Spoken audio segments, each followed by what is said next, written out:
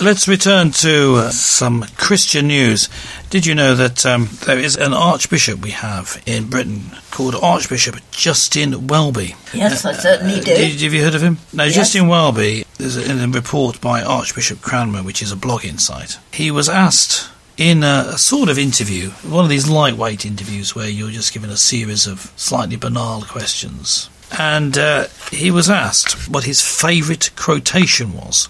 And he's talking about uh, quotations from the Bible here. It says, You did not choose me, but I chose you. And I appointed you to go and bear fruit, fruit that will last, so that the Father will give you whatever you ask in my name. John 15, 16. So that's Jesus speaking to his disciples, or specifically to the apostles at that time. Justin Welby uh, then believes that he has been chosen and appointed by God, and his mission is to be God's servant for good. Now, Justin Welby is effectively leader of the Church of England. It's a, a rather loose title in that he has very significant influence, but Yes. not necessarily actual power.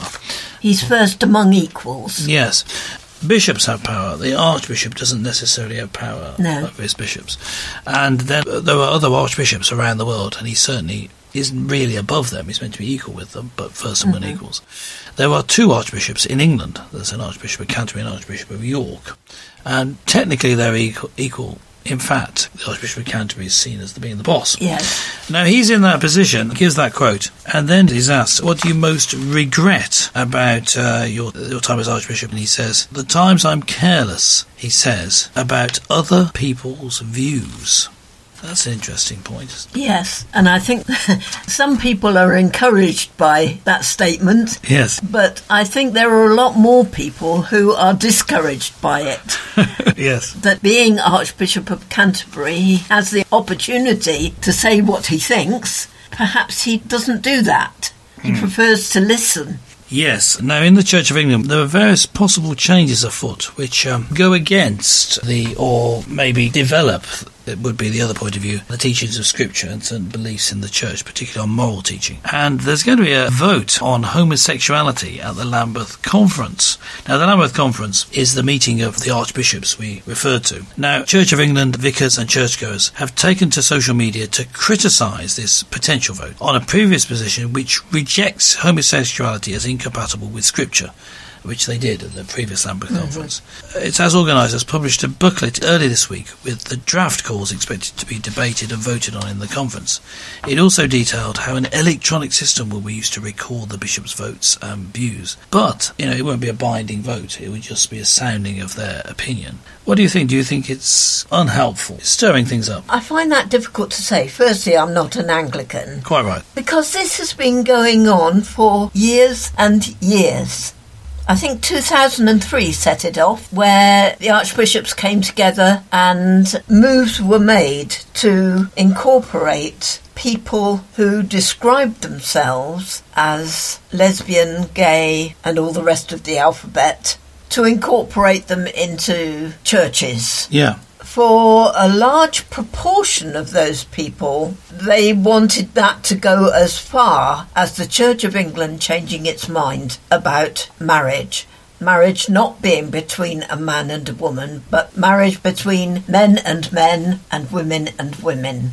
As well as between a man and a woman. And actually, a bishop was appointed in America who wanted that to happen.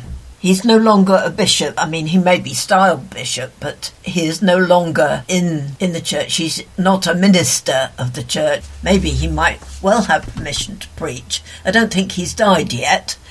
Um, and since 2003, it's been going backwards and forwards, backwards and forwards. Various means have been brought up to discuss this and engineer the ability of people to belong to the Church of England, men and women who are gays and lesbians.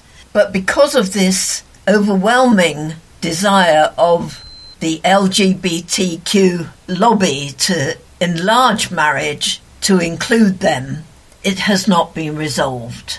And the Christian would say, okay, you can be a homosexual or a lesbian, but as long as you don't practice that definition, then you can come into our churches and be part of our churches. Yes, but yes. we cannot have you ministering the gospel if you are a practicing lesbian or homosexual. Yes, it's, it's interesting that um, theological training this was discussed, and uh, the point was made that while homosexuals and lesbians themselves don't recognise the difference between practicing and not practicing one, as though that was a point not to do it.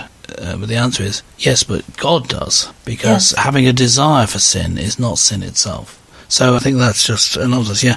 But you see, there's a move, and I think there's sort of a pressure to move in a particular direction, which is more and more freedom, as is seen, on sexual matters. And it's seen as being a one way street. And I don't think that this is the case.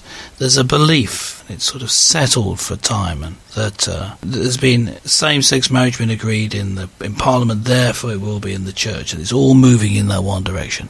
But it's not settled. No. Not at all, and most people don't agree with it.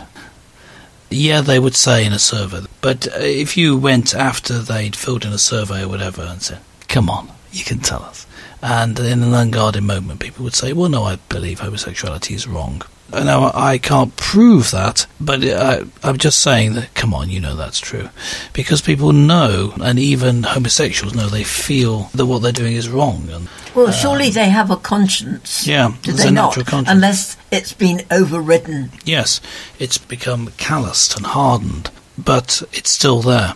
And so I think that these things aren't set in stone. Now, let me give you an example of how you think, oh, things aren't going to be reversed. Uh, over in the United States, uh, there's the Roe versus Wade case, which uh, is seen widely as uh, it being overturned uh, as banning abortion, because it isn't. It, it was the other way around, that it was a very strange decision to allow abortion across the country the Roe versus Wade decision by the Supreme Court in America, and its reversal simply means that now individual states decide whether mm-hmm. abortions are allowed. But people thought that that would never change. Yes, I know. I've read. There's the no way that would change, and it did. Why did it change? And here's where the evangelical Christians may be right that Trump has been put in place because he appointed conservative judges. He was asked, "How will you?" And he said, "You know, he, he thought that uh, abortion. He was against abortion. How will you do that?" He said, "Well, I'll appoint judges who will do it." And this was sort of outrageous, and that's what he did. Yes. And so the change has been made. God puts in place some certain person. I believe Trump was the person. Whether he's the right person for the next election, that's another matter. Well, maybe he is, but I, you know, I'm just saying that, isn't a comment on that. In that time, just as um, Queen Esther back in the Bible got into a position of political power, and her uncle said to her, "Perhaps you have." Arrived here for such a time as this. It's a Yes. well-known phrase because she could have a certain influence. And, and in the same way, people like Donald Trump can be there for such a time as this and can make changes. And changes can happen, and God puts place to do them. Where is that person in Britain? Well, I haven't seen them yet, but that doesn't mean that they're not there and that God doesn't No. know who they are. I've been amazed how God works in some situations. God puts people, the most unlikely people sometimes, into position to do what He wants. They may not even realise they're doing it, but uh, Yes. His will becomes affected